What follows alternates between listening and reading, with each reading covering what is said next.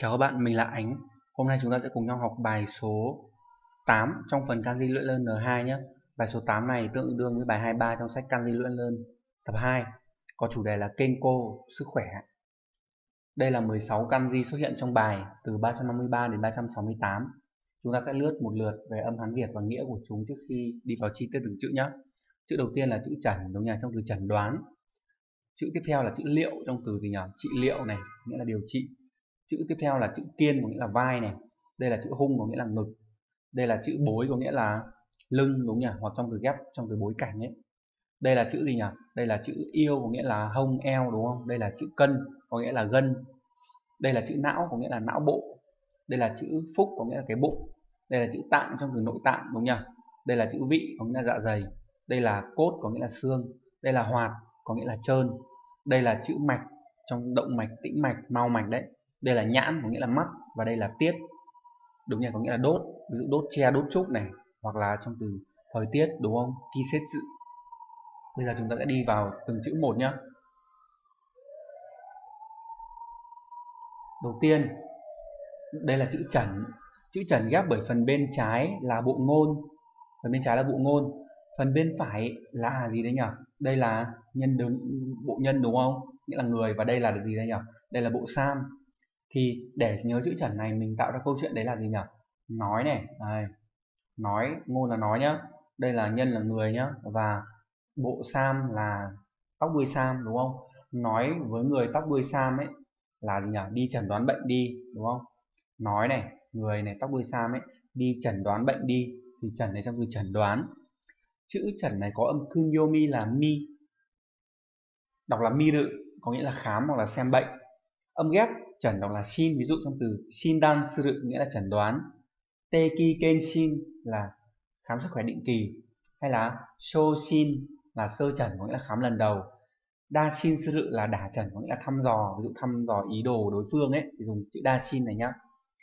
Ờ, ở đây có một số thông tin tham khảo. Đấy là các bạn biết là chữ ờ, kiến đúng không nhỉ? Là nhìn đấy đọc là mi rự là cái mà chúng ta được học ở trong những cái bài đầu tiên của phần N5 thì có khá là nhiều kanji khác cũng đọc là mi ở đây các bạn quan sát, ví dụ đây là chữ quan chữ quan đúng nhỉ?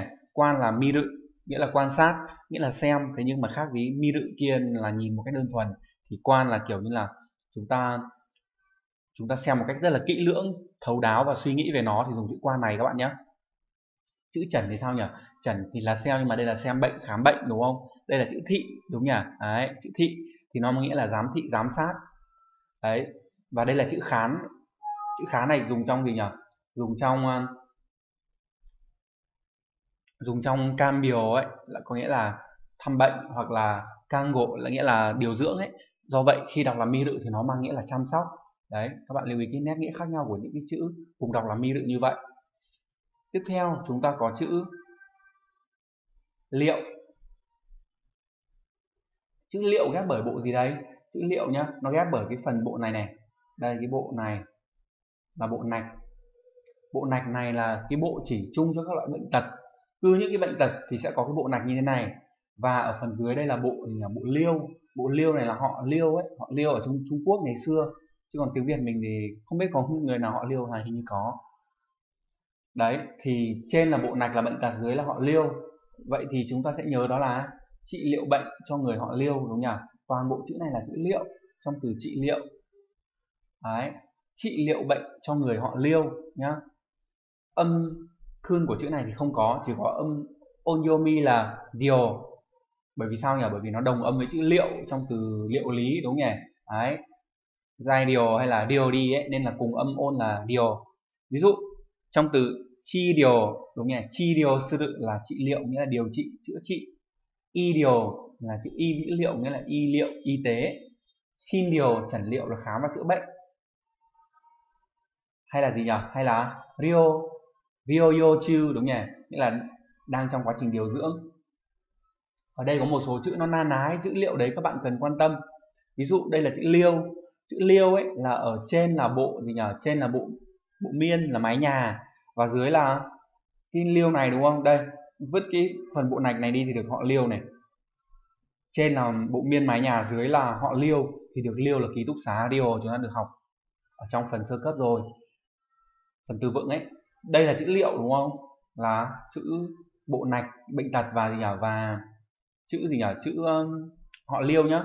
Đây là chữ liêu gồm có gì đây nhỉ? Gồm có họ liêu và chữ nhân đứng. Liêu này trong từ đô điều là đồng liêu đồng nghiệp. Và đây là chữ gì nhỉ? Chữ liệu trong từ mê điều. Mê điều na nghĩa là sáng tỏ sáng rõ. Nó đi ghép bởi bộ gì nhỉ? Bộ mục là mắt với lại họ liêu đúng nhỉ? Bộ liêu. Đấy là những cái mà chúng ta cần quan tâm. Tiếp theo các bạn có chữ kiên. Chữ kiên này trong tiếng việt mình thì không có dùng cái âm hán việt kiên đúng nhỉ? Nhưng mà trong tiếng nhật ấy, thì nó có chữ này. Thì chữ này có nghĩa là vai. Nếu mà cấu phân tích cấu thành thì nó ghép bởi bộ gì nhỉ? Bộ hộ đúng không? Đây là bộ hộ nhá gồm có một nét nhất này với lại một cái bộ thi. Thì tạo ra chữ hộ nghĩa là cái cửa và dưới là bộ gì nhỉ? Dưới là bộ nhục. Bộ nhục này thì thực ra ấy, nó rất là giống bộ nguyệt là mặt trăng. Nhưng mặt trăng thì thông thường là nó đi với những chữ hán mà tạo ra cái nét nghĩa là về thời gian đúng nhỉ? Đấy. Còn cái bộ bộ những cái liên quan đến uh, cơ thể thịt ấy, thì nó sẽ là bộ nhục nhá. Đấy, không phải là bộ nguyệt. Thế nhưng mà để dễ nhớ thì mình sẽ gọi cái này là nguyệt đúng nhỉ? Các bạn lưu ý là mặc dù không đúng bản chất nhưng mà mình gọi là là nguyệt cho dễ tưởng tượng và dễ tạo được câu chuyện. Thì cái này ghép bởi cửa và nguyệt, đúng không? Thì mình nhớ là vai, đúng nhỉ? Toàn bộ cái chữ kia này là vai. Vai nguyệt va vào cửa. Đây. nguyệt va vai vào cửa nhá. Đấy. Âm thư yomi của chữ này là kata có nghĩa là cái vai, đúng nhỉ? Kata này. Katahaba là bé rộng vai. Katagaki là địa chỉ thư tín. Kata iresuru là gì nhỉ? Nâng đỡ bảo trợ. Âm ghép của chữ kiên là ken trong từ kenko cốt nghĩa là kiên giác cốt nghĩa là xương vai. Các bạn nhớ cho mình từ kata và katahaba nhé. Đấy, hai từ này là hai từ quan trọng nhất. Còn những từ khác thì chúng ta tham khảo thêm thôi. Chữ tiếp theo của chúng ta đấy là chữ hung. Chữ hung này ghép bởi bộ nhục đúng nhỉ? Bộ nhục vẫn là thịt. Gần như các bộ phận trên cơ thể người của chúng ta đều có cái bộ này này bộ giống mặt trăng này nhưng mà thực ra không phải là bộ nguyệt đâu mà là bộ nhục nhá. Nhưng đây để dễ nhớ thì mình gọi là bộ nguyệt đúng nhỉ? Đấy, thì tí nữa khi gọi là bộ nguyệt thì các bạn tự hiểu rằng nó là bộ gì đấy, nó là bộ nhục nhá. Thì cái chữ này nó ghép bởi bộ nhục, ghép với lại bộ gì nhỉ? Bộ bao, đúng không? Đây là bộ bao. Đây, bộ bao đây. Và đây là chữ hung, đúng nhỉ? Hung trong từ hung ác, hung bạo. Thì câu chuyện của chữ hung này là gì nhỉ? Nguyệt này, đây là nguyệt nhá. Nguyệt này, đây là bao nhá. Ôm này, nguyệt ôm lấy một thằng hung ác, đúng nhỉ? Nguyệt ôm lấy thằng hung bạo vào lồng ngực. Đấy, nguyệt rất là bao dung đúng không? Nên dù nó có bạo bạo ngược như thế nào hung ác như thế nào thì nguyệt vẫn ôm lấy cái thằng hung ác đấy vào lồng ngực đúng nhỉ? Chữ hung này đọc là mune hoặc là muna đấy ví dụ trong từ mune có nghĩa là ngực đúng nhỉ? Đấy, lồng ngực ấy đôi khi thì người ta chỉ là chỉ trái tim đúng không? Mang nghĩa bóng nhá giống như koro muneyake là gì nhỉ? Là trứng ợ nóng này muna sawagi là gì đấy? À không yên tâm điểm báo. Từ ghép, âm onyomi thì chữ hung đọc là kyo, ví dụ trong từ kyoi, đúng nhỉ? Kyoi là hung vi, nghĩa là vòng ngực, hay là dokyo. Chữ độ với chữ hung nghĩa là sự dũng cảm, gan góc. Đấy là từ vựng của chữ hung. Tiếp theo chúng ta có chữ bối. Chữ bối ghép bởi phần bên trên là chữ bắc có nghĩa hướng bắc và phần bên dưới là bộ nhục nguyệt đấy đúng nhỉ? Thì câu chuyện của chữ bối là gì đấy? Nguyệt này ngồi quay lưng về hướng bắc. Thì toàn bộ chữ bối này nghĩa là lưng nhá. Nguyệt đây cô nguyệt đây cố ngồi quay lưng về hướng bắc. Nghe hai cô nguyệt đây rất là giống mình hai người ngồi đối nhau đúng không? Đấy, đấy là cái cách nhớ của chúng ta. Âm kunyomi của chữ bối này là c đúng nhỉ? C hoặc là c có trường âm hoặc là gì nhỉ? Hoặc là số mư. Ví dụ trong từ c là lưng nhé các bạn có một từ nữa, ở đây mình không, mình viết thiếu. Đấy là từ senaka, đúng nhỉ? Senaka là chữ bối với chữ chung cũng có nghĩa là lưng. Hay là sekurabe là so chiều cao này, cái này thì có trường âm. Số mư là quay lưng phản bội, động từ.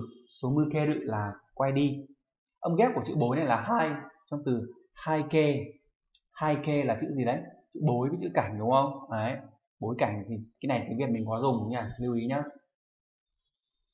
Tiếp theo, chúng ta có chữ yêu.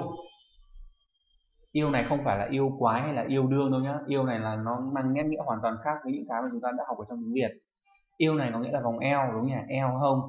Thì ghép bởi bộ gì nhỉ? Bộ nhục là nguyệt này và gì đây? Và chữ yếu, đúng nhỉ? Đây cái chữ mà trên có bộ tây và dưới là bộ nữ này là yếu trong từ thiết yếu, cần thiết đấy thì câu chuyện của chữ này đấy là nguyệt cần thuốc giảm mỡ, đúng nhỉ? Nguyệt cần thuốc giảm mỡ eo, đúng không? Bạn nguyệt nhá, bạn cần thuốc giảm mỡ eo. Thì toàn bộ cái chữ này là yêu nghĩa là eo này. Âm kuyomi của chữ này là koshi. Koshi có nghĩa là eo hông. Âm onyomi là yo, trong từ yotsu yotsu là yêu thống là đau thắt lưng. Ngoài ra còn có từ ví dụ như là kenka goshi, đúng nhỉ? Nó đọc biến âm từ cái koshi này ra, có nghĩa là một phe tham chiến, phe cãi nhau, phe tranh giành nhau.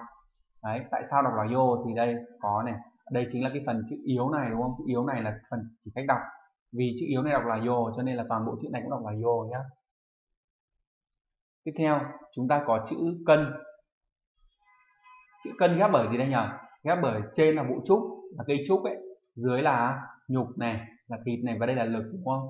Thì để dễ nhớ cái này, mình nhớ rất đơn giản các bạn nhé đây là trúc này, đây là nguyệt này, đây là lực này. Trúc, nguyệt, lực đều thích ăn gân bò, đúng không?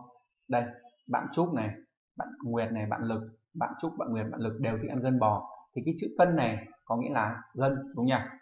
Âm kunyomi là suji suji ví dụ trong từ suji có nghĩa là gân hoặc là cốt truyện. Sesuji là cơ lưng sujimichi là đạo lý trật tự. Đấy ngoài ra còn một số cái từ khác nữa, đúng nhỉ? Ví dụ arasuji, đúng nhỉ? Arasuji là ghép bởi chữ ờ, thô, đúng nhỉ? Chữ thô với lại chữ cân. Nó mang nghĩa là cái nét chính ấy. Âm ghép của chữ cân đọc là kin, giống cận, đúng không? Gần giống cận trong từ ờ, cận thị, đúng nhỉ? Đấy, sai kin. Do vậy, nó cũng đọc là kin. Ví dụ, kin là chữ cân và chữ nhục, có nghĩa là bắp thịt, cơ bắp. Phực kin, đúng nhỉ? Phực kin là phúc cân, có nghĩa là cơ bụng. Chữ tiếp theo là chữ não. Chữ não ghép bởi bộ nhục nguyệt này và gì đây? Và ba cái, đây đây là ba cái phần được giảm thẻ đúng không nhỉ? Cũng không rõ, ngày xưa nó là bộ gì nhưng mà đây là phần đã được giảm thẻ rồi thì mới ra hình đơn giản này nhá. Và dưới là chữ hung trong từ hung ác, đúng nhỉ? Thì chữ não này có câu chuyện đấy là gì đây? Nguyệt này, đây là nguyệt nhá. Đánh ba đứa, đúng không? Đây là ba một, hai ba, hung, đây là hung ác này. Nguyệt đánh ba thằng hung ác đến mất não, đúng nhỉ? Đây là nguyệt này, ba này hung ác đến mất não. Đấy. Đôi khi các bạn thấy câu chuyện nó cũng hơi nhảm nhí, thế nhưng mà đấy là tùy các bạn ừ, thôi. Các bạn có thể các bạn chế ra hoặc các bạn có thể dùng luôn cái cách này, các bạn nhìn nhiều, các bạn nhớ được. Mình cũng không ép các bạn là phải, các bạn không nhất thiết là các bạn phải nghe những câu chuyện đấy để các bạn nhớ đâu nhá. Nhiều khi nó làm cái cách nhớ của chúng ta nó hơi bị khiên cưỡng ấy. Chữ não này không có âm kunyomi mà chỉ có âm onyomi là no. Ví dụ trong từ no nghĩa là não bộ. Dư no là đầu não, nghĩa là bộ não này. Shuno Kaidan là thủ não hội nghị có nghĩa là hội, hội nghị cấp cao. No Kanaku có nghĩa là gì nhỉ? Não khoa học khoa học nghiên cứu về não bộ. Seno là tẩy não. Thì ở đây có hai từ não mà mọi người hay nhầm đúng nhỉ? Thứ nhất là não này và thứ hai là não này. Thì não này ấy, nó ghép bởi bộ gì đấy? bộ tâm với lại cái phần gì nhỉ? Phần bên tay phải này đúng không? Đấy. thì khi đấy nó sẽ có âm. Kunyomi là nayamu đúng nhỉ? Nayamu nghĩa là phiền não khổ não. Đấy. Còn cái chữ này ấy, nó khi nó không phải là bộ tâm nhá. Khi những cái chữ bộ tâm thì liên quan đến tình cảm cảm xúc. Còn không phải bộ tâm thì liên quan đến gì? Không phải bộ tâm thì sẽ liên quan đến gì nhỉ? Đến các bộ phận trong cơ thể đúng không? Thì đây là bộ nhục thì não này là não bộ. Đấy các bạn lưu ý cái điều đấy. Tiếp theo chúng ta có chữ phúc. Chữ phúc này ghép bởi phần bên trái là bộ gì nhỉ? Đây là bộ uh, bộ nhục, đúng không? Nghĩa là thịt này bắt thịt này tượng trưng cho thịt này. Và đây là gì đây? Đây là bộ nhân nằm này, bộ nhật rồi bộ chi. Đây các bạn thấy nó tạo tạo thành bốn, bởi bốn cấu kiện. Nếu mà chúng ta cố gắng tạo ra câu chuyện từ bốn cấu kiện này thì rất là dài. Và đôi khi là khó nhớ hơn là cái việc chúng ta nhìn nhiều thì chúng ta nhớ, đúng không? Và đặc biệt những cái chữ mà nó có gì à nó có cái bộ phận tương tự như này thì mình khuyên các bạn là nên học theo hình thức là uh, kanji tương tự nhá. Đấy đây ví dụ đây gọi là kanji tương tự đây này. Thì mình cũng ở trong những cái bài giảng thì mình cũng có viết ở đấy để cho các bạn hình dung ra. Đấy nhưng mà đặc biệt là những cái chữ nào mà tạo thành từ nhiều cấu kiện và lại còn phức tạp thì chúng ta cố gắng nhớ bằng cách là tập viết nhiều lần hoặc chúng ta dựa vào những cái kanji nó gần gần giống như thế. Trên này mình không tạo ra câu chuyện để mình nhớ nghe bởi vì rất là dài. Âm kunyomi của chữ phúc là hara đúng nhỉ? Hara có nghĩa là bụng. Đấy futopara có nghĩa là gì à? hào phóng này. Và đặc biệt trong từ onaga. Onaga là cách đọc đặc biệt đúng không? Là cái bụng đấy.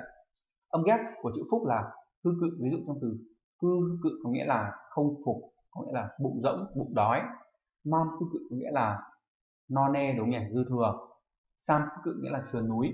Đây là một số kanji gần giống chữ gì nhỉ? Gần giống chữ uh, phúc này nhá. Đây là phục này. Trong từ cai hư cự hồi phục.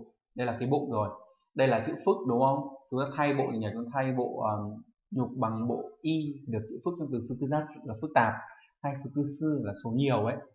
Đây là chữ phúc nghĩa là che đậy. Ô đúng nhỉ? Tiếp theo chúng ta có đây là chữ chữ tạng chữ tạng. Nếu mà phân tích thì chữ tạng này ghép bởi bộ nguyệt đúng không? Bộ nhục này. Và gì nhỉ? Và đây là chữ tàng trong từ ờ, rezo cổ cái cái kho đúng không? Đấy thì để nhớ chữ này chúng ta có câu chuyện đây là nguyệt tàng chữ nội tạng đúng nhỉ? Đây là nhục nhá nguyệt nhá tàng chữ nhá đây là tàng này. Toàn bộ chữ này là tạng nguyệt tàng chữ nội tạng. Thì chữ này cũng không có âm kunyomi mà chỉ có âm onyomi là do ví dụ trong từ naizo là nội tạng đúng nhỉ? Những cái như là uh, gan tim rồi thì thận vân vân thì gọi là naizo nội tạng. Shinzo là tâm tạng có nghĩa là tim.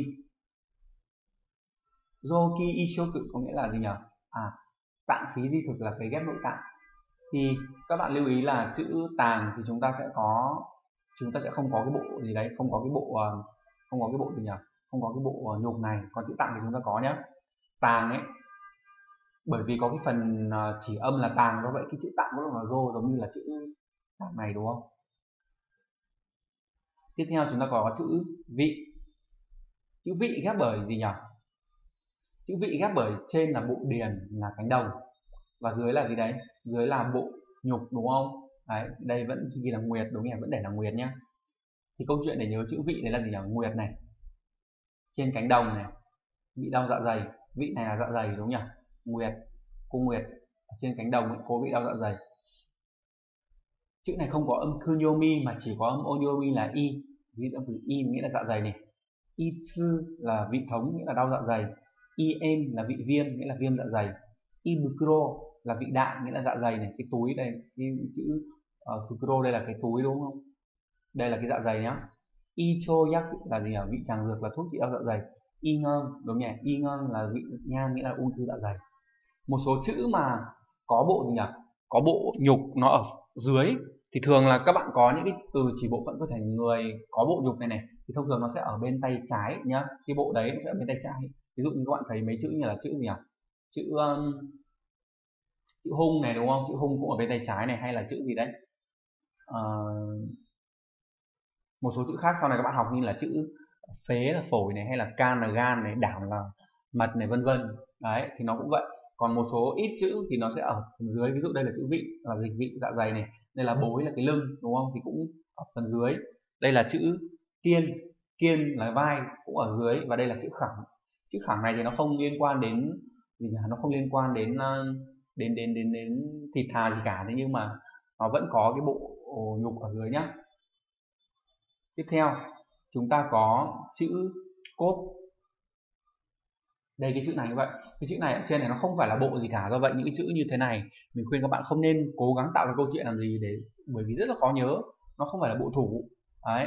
Đây mình cũng không tạo câu chuyện nhá chữ cốt này có âm kunyomi là hone có nghĩa là xương. Đấy. Sebone là bốn cốt là xương sống này. Còn âm ghép của chữ cốt là cốt ví dụ trong từ kosetsu đúng nhỉ? Kosetsu là cốt chiết là gãy xương. Y cốt là di cốt có nghĩa là hài cốt. À, gì nhỉ? In đúng nhỉ? In là tiếp cốt viện là viện nối xương.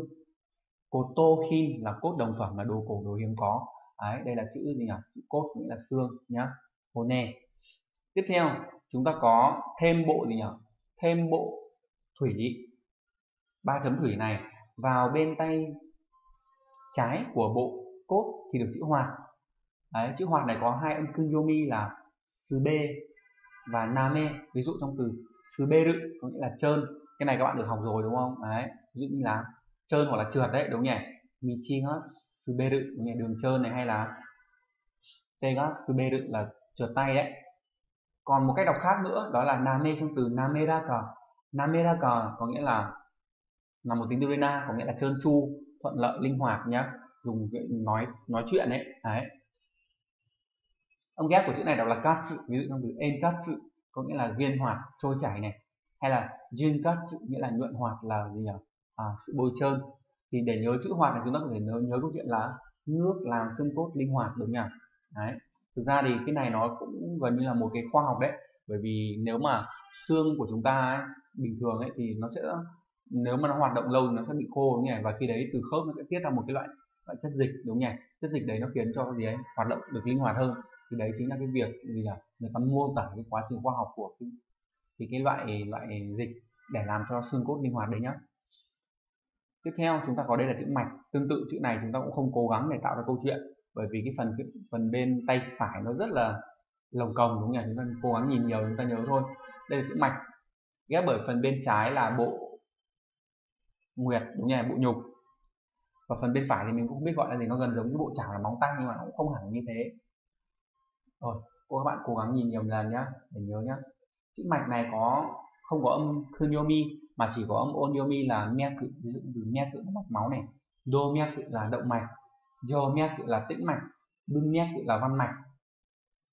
Cự là mạch lạc. Những từ này thì trong tiếng Việt mình cũng có dùng đúng không? Tiếp theo chúng ta có chữ nhãn. Chữ nhãn ghép bởi phần bên trái là bộ mục là cái mắt. Phần bên phải là bộ cấn. Bình thường bộ cấn này có nghĩa là uh, quả bói đây này nhỉ nhưng mà chúng ta uh, thấy nó giống chữ lương mà bị mất đầu đi đúng không? Lương là tốt vậy mất đầu đi thì còn không tốt nữa vậy thì chúng ta nhớ câu chuyện của chữ nhãn là gì nhỉ? Mắt này, nhìn không tốt, do bị tăng nhãn áp. Đây là mắt này, đây là lương là không tốt, đúng nhỉ? Lương như mất đầu, lương là tốt nhưng mất đầu thì thành không tốt. Mắt nhìn không tốt, do bị tăng nhãn áp. Thì nhãn này có nghĩa là nhãn áp nhé. Đấy, tăng nhãn áp là gì? Là bị tăng áp lực mắt nên rất là mỏi rất là đau, đúng không? Chữ nhãn này có âm kunyomi là manako. Manako nghĩa là con mắt, ánh mắt, đấy.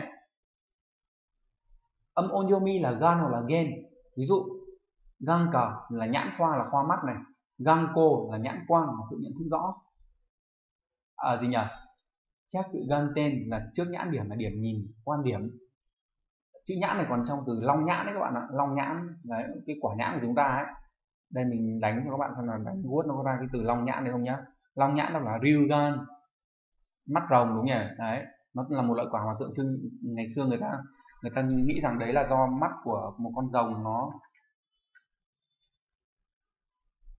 đây, có này.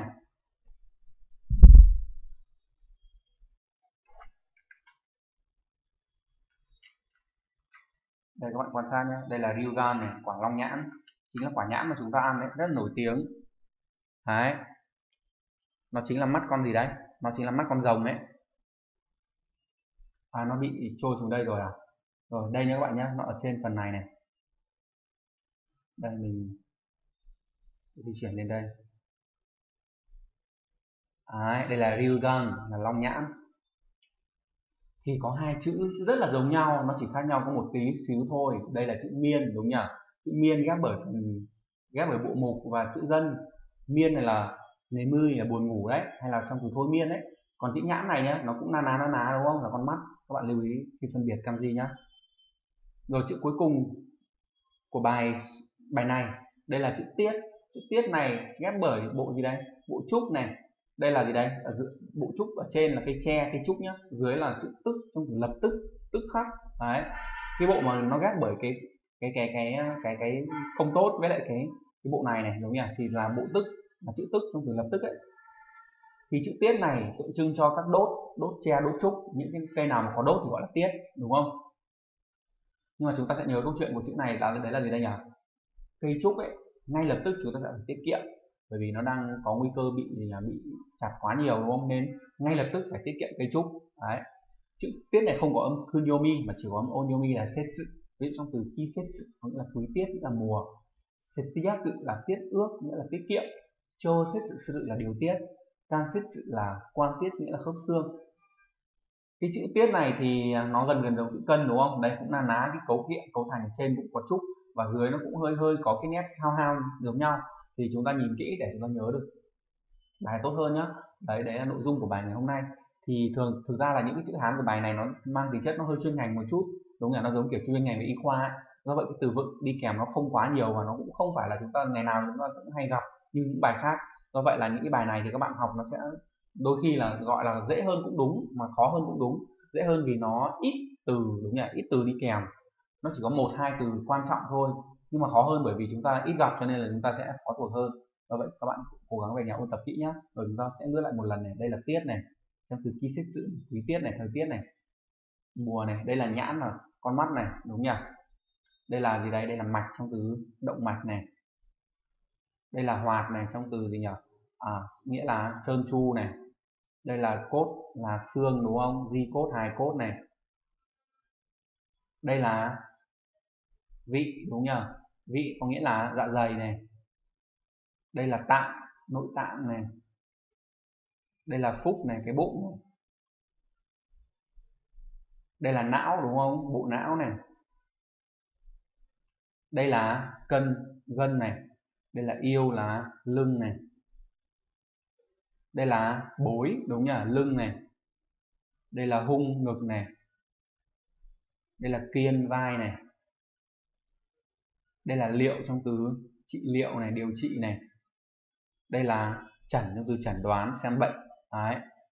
Rồi, sẽ lướt lại một lần nữa nhé những cái phần kanji mà học ngày hôm nay nhé đây là gì nhỉ? Đây là chẩn mi đự hoặc là xin xin đan chẩn đoán, đúng không? Đây là liệu chi điều trị liệu này đây là vai kata là gì nhỉ? Kata là vai hoặc là kata bà là bề rộng vai đúng không? Đấy. Đây là gì đấy? Đây là hung là mune là ờ, uh, mune là gì nhỉ? Là ngực này hoặc là trái tim. Hay là gì đây nhỉ? Hay là kyo trong từ kyoi là hung vi là vòng ngực đấy đây là bối này đúng nhỉ? C này. Nghĩa là cái lưng senaka là lưng này hay là động từ là số mư số mư kê rự nhá. Âm ghép đọc là hai từ hai kê bối cảnh. Đây là yêu koshi là cái hông cái eo ghép âm là yo từ yo sư là đau lưng đau hông. Đây là chữ cân nghĩa là gân đúng nhỉ? Suji ghép âm là kin từ kin ni cự bắp thịt đúng nhỉ? Đây là não đọc là no. Đấy, phân biệt giữa chữ não mà có bộ tâm nhá. Đây là chữ phúc đúng nhỉ? Hara là cái bụng hay là cách đọc đặc biệt là onaka còn lại đọc là gì nhỉ? Đọc là hư cự đúng không? Ví dụ như là à mam hư cự đúng nhỉ? Là no bụng này hay là fukin ấy, cơ bụng. Đây là chữ tạng trong từ nội tạng đọc là do đúng nhỉ nai do nội tạng shinzo là trái tim. Tim đây là vị dạ dày này đúng nhỉ y trong từ en vị viêm viêm dạ dày đây là hone là chữ cốt nghĩa là xương hay là cốt sự trong từ y cốt sự di cốt đấy. Đây là chữ hoạt đọc là gì nhỉ? Sư bê rự là trơn trượt đúng không? Hay là nameraka là trơn chu, tính từ đôi na hay là cắt sự trong từ en cắt sự nghĩa là gì nhỉ? Trôi chảy này. Đây là chữ mạch nhạc vị đô me cự động mạch. Do me cự tĩnh mạch đúng nhỉ? Hay là bưng me cự văn mạch mạch câu văn nhé. đây là chữ gì nhỉ? Đây là chữ nhãn mà naco là gì nhỉ? Là con mắt. Gan là long nhãn đúng không? Gan cờ là nhãn khoa là khoa mắt nhé. Đây là chữ tiết. À đây là chữ ở ừ, đúng rồi chữ tiết đọc là xét sự trong từ khi xét sự đúng không? Mùa. Đấy đây là những cái từ mà chúng ta học ở bài 23 rồi chúc bạn học tốt. Chào tạm biệt các bạn. Hẹn gặp lại các bạn trong các bài sau.